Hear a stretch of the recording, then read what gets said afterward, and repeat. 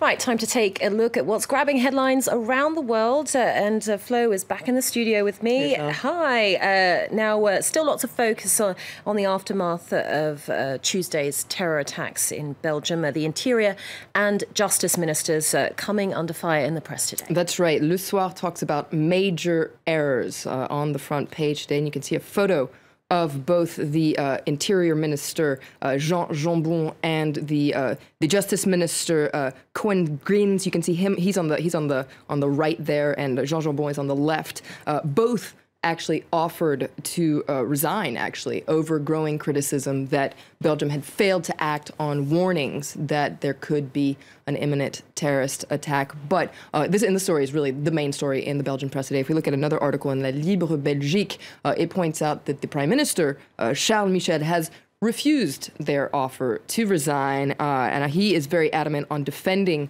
Belgium's democracy right now. He says democracy won't be broken.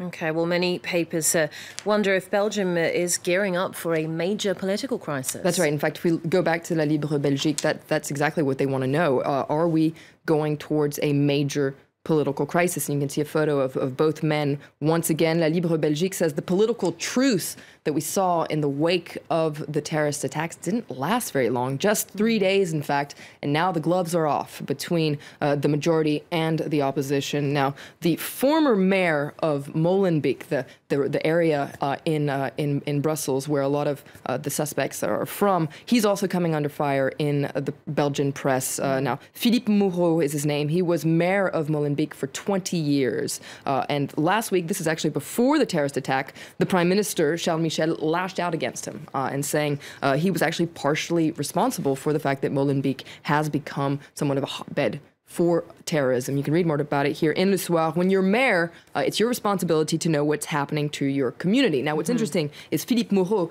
actually appeared on French TV yesterday, uh, and this is also getting a lot of attention here uh, in Le Soir. Uh, now, he was, according to Le Soir, tense during this TV interview, uh, but he did defend his track record, though you can see this quote here. Uh, he did admit, perhaps I was a little too prudent on the issue of social diversity. Okay, let's move on uh, to another big story in the press today. Uh, lots of focus on uh, Radovan Karadzic. Uh, uh, yesterday, uh, the former Bosnian Serb leader was found guilty of genocide. That's right. Mm. Huge story in the press today. let's start with a, a Serbian paper, actually. it's called Blic. It's a, it's a center left tabloid. They're being very factual here. Karadzic will be behind bars until he's 90, probably longer, though, because, mm. of course, he was sentenced to 40 years. He's, he's in his early 70s. now, what's interesting is the, the the, the, the, news was met with rage uh, by certain ultra nationalists in Serbia. Most papers, though, are, are, are uh, reacting uh, by applauding uh, this verdict. Let's take a look at some front pages in Britain. You have The Independent, uh, which talks about the genocidal butcher of Srebrenica. Uh, he's sentenced to 40 years. You get this feeling that finally that he's been sentenced. The Guardian, as well, uh, you can see on their front page, they're talking about guilty of genocide. Justice has caught up with Karadzic. But what's interesting is The Guardian reports about another group that's angry about the verdict, but for very different reasons. And these are uh, survivors of the Srebrenica ma- massacre and their family members. They actually wanted the International Criminal Tribunal for the former Yugoslavia to go further. Uh, mm-hmm. Uh, they believe that 40 years is not enough. Uh, and you can see this quote here from one of what they call the Srebrenica mothers. Uh, is the tribunal not ashamed? It's not enough. They feel like he escaped essentially a life sentence. Wow. Okay. Well, we're staying with uh, The Guardian. Uh, it says the verdict is a huge uh, achievement for the, uh, the International Criminal Tribunal. That's right. And international justice in, in general, which is actually quite a young phenomenon. And this is a very interesting editorial that points out that this is just the end of the beginning for international justice.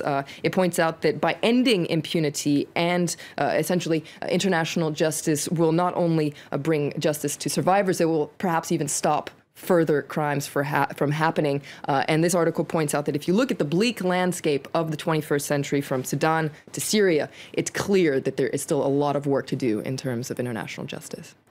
Okay, well, on a, light, a lighter note, uh, moving on to New Zealand, uh, where a referendum has been held over whether or not to change the national flag. That's right. And a majority of New Zealanders do not want to change their flag. You can read about it in The Guardian again. Uh, you can see, as you were, New Zealand votes to keep its flag, and, and there's the flag that they're going to keep.